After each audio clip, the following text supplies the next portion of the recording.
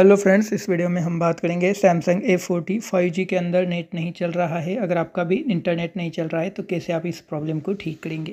Video को पूरा and तक देखिए वीडियो अच्छी लगी तो लाइक और चैनल को भी सब्सक्राइब ज़रूर कीजिएगा। तो इसके लिए आपको क्या करना है? सबसे पहले तो नेट नहीं चल रहा तो सीधे से काम करना है। आपको कोई भी सेटिंग नहीं करनी है। अपना मोबाइल डेटा अपना बंद कीजिएगा यहाँ से। और उसके बाद अपने फ़ोन का पावर बटन लॉन्ग प्रेस करके रीस्टार्ट बटन पर क्लिक करके अपने फ़ोन को एक बार रीस्टार्ट आपको कर लेना है। ये पहला प्रोसेस होगा। जैसे आप रीस्टार्ट करोगे, उसके बाद आपको फिर से अपना मोबाइल डेटा ऑन कर लेना है एंड उसके बाद चेक करना है आपकी जो प्रॉब्लम है वो ठीक हो जाएगी, आपका मोबाइल डेटा और नेट चलना स्टार्ट हो जाएगा।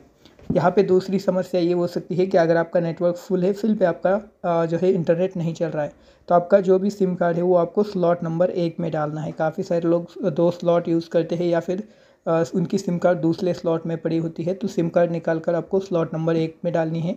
एक स्लॉट आपको बिल्कुल खाली छोड़ देना है। इसके अलावा फिर भी अगर आपका इंटरनेट नहीं चल रहा है तो यहाँ पे आप क्या करेंगे कि अपने फ़ोन की सेटिंग खोलेंगे। सेटिंग खोलने के बाद ऊपर सर्च मेनू में सर्च करेंगे डाटा सेविंग। डेटा सेविंग के ऊपर क्लिक करेंगे तो यहाँ पे अल्ट्रा डाटा सेविंग यहाँ पे आ जाएगा। इसके ऊपर क्लिक करके यहाँ पे अगर आपने इसको ऑन कर रखा है तो इसको आपको बंद कर देना होगा। इससे भी डाटा जो है काफ़ी हमारा जो है स्पीड नहीं दे पाता या फिर इंटरनेट सही से नहीं चल पाती तो इसको बंद कर दीजिएगा। इससे आपकी जो प्रॉब्लम है वो सारी ठीक हो जाएगी।